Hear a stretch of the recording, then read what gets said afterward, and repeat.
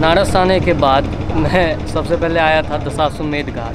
दशाश्वमेध घाट मेरा पहला घाट था जिसे मैंने विज़िट किया था। उसके बाद मैं जब इधर उधर मैंने एक्सप्लोर करना शुरू किया तो मुझे ये बात तो पहले से मालूम थी, लेकिन ये नहीं पता था कि दशाश्वमेध के इतने नज़दीक में दरभंगा घाट है। जी हाँ हार्ट ऑफ़ मिथिला दरभंगा के नाम से भी यहाँ पे एक दरभंगा घाट है। इस घाट का फिर मैंने इतिहास निकाला कि इस घाट का हिस्ट्री क्या है, इसका नाम दरभंगा घाट क्यों पड़ा। तो उसके बाद मुझे मालूम चला कि साल 1812 में नागपुर के फाइनेंस मिनिस्टर श्रीधर नारायण मुंशी ने यहाँ पर एक घाट बनवाया, जिसका नाम था मुंशी घाट और यहाँ पर एक महल भी बनवाया, जिसका नाम है मुंशी महल। उसके बाद साल 1915 में दरभंगा के महाराज कामेश्वर सिंह ने इस घाट को खरीद लिया। फिर उसके बाद इस घाट का विस्तार किया, यानी कि इस घाट का एक्सटेंशन किया। और आज जो इसका एक्सटेंडेड पार्क है, उसे दरभंगा घाट कहा जाता है। यहाँ पर एक मुंशी महल भी था दरभंगा महाराज ने खरीद लिया लेकिन साल उन्नीस सौ चौरानवे में वो बिक गया। और आज वहाँ पे ब्रिजराम पैलेस है। इसे क्लार्क होटल ग्रुप्स ने ख़रीदा था और यहाँ पर अब एक फाइव स्टार होटल खुल गया है। पहले तो ये दरभंगा महाराज कामेश्वर सिंह ने साल 1915 में इसे ख़रीदा था और 1812 में श्रीधर नारायण मुंशी ने इस घाट को बनवाया था।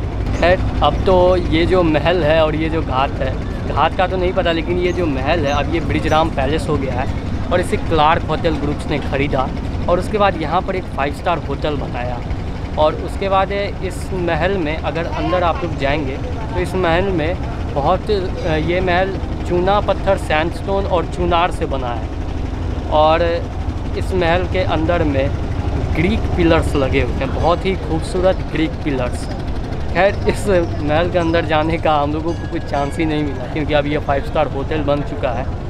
तो वहाँ पे अब जाना मना हो गया, क्योंकि अभी एक प्राइवेट प्रॉपर्टी है। खैर, यही था दरभंगा घाट का इतिहास। दरभंगा महाराज ने इसे श्रीधर नारायण मुंशी घाट को, मुंशी घाट को ख़रीदा था, और उसके बाद यहाँ पे दरभंगा घाट उस दिन से इसका नाम ये एक छोटा सा जानकारी था। मैंने सोचा अगर मैं किसी वीडियो में, किसी ब्लॉग में इसे डाल दूँगा तो शायद किन को पता चलेगा किन को नहीं पता चलेगा।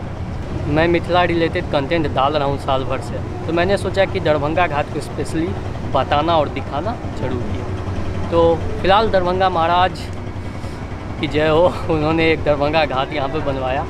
बनवाया नहीं हाँ बनवाया एक्सटेंशन भी तो बनवाना ही हुआ। और जो अभी भी मुंशी घाट भी यहाँ है, लेकिन जो एक्सटेंडेड पार्क था सिर्फ़ उसी को अभी दरभंगा घाट कहा जाता है। और ये बनारस के सबसे खूबसूरत घाटों में से एक है। जब आप यहाँ पे पानी में नाव पर अगर आप लोग बोट राइड लेंगे तो उसके बाद जो सारे घाट दिखते हैं, उनमें उनमें सबसे सुंदर और सबसे बड़ा जो कहते हैं, जिसे मार्वेलस कहते हैं, उन घाटों में से एक दरभंगा घाट भी आप लोगों को देखने के लिए मिलेगा। फ़िलहाल, आज के दरभंगा महाराज के इस वीडियो में, दरभंगा घाट इस वीडियो में इतना ही। मिलते हैं फिर आप लोगों से कभी किसी अगले वीडियो में।